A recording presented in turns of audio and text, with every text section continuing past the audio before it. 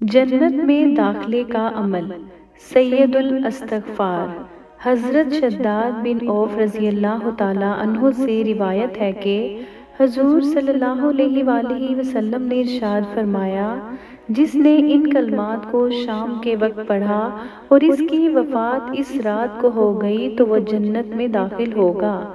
اور جس نے صبح کو پڑھ لیا اور اس کی وفات اس دن ہو گئی تو وہ جنت میں جائے گا۔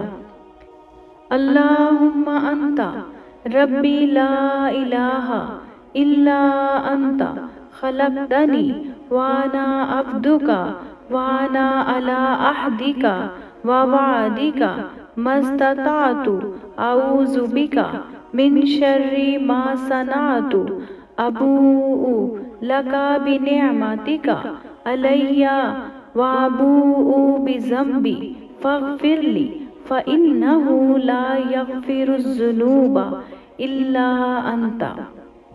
اے اللہ، آپ میرے رب ہیں۔ آپ کے سوا کوئی معبود نہیں۔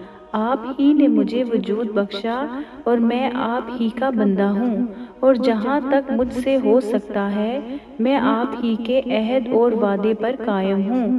میں اپنی کرتوتوں کے شر سے پناہ مانگتا ہوں۔ میں اپنے اوپر آپ کی نعمتوں کا اعتراف کرتا ہوں اور اپنے گناہوں کا اقرار کرتا ہوں۔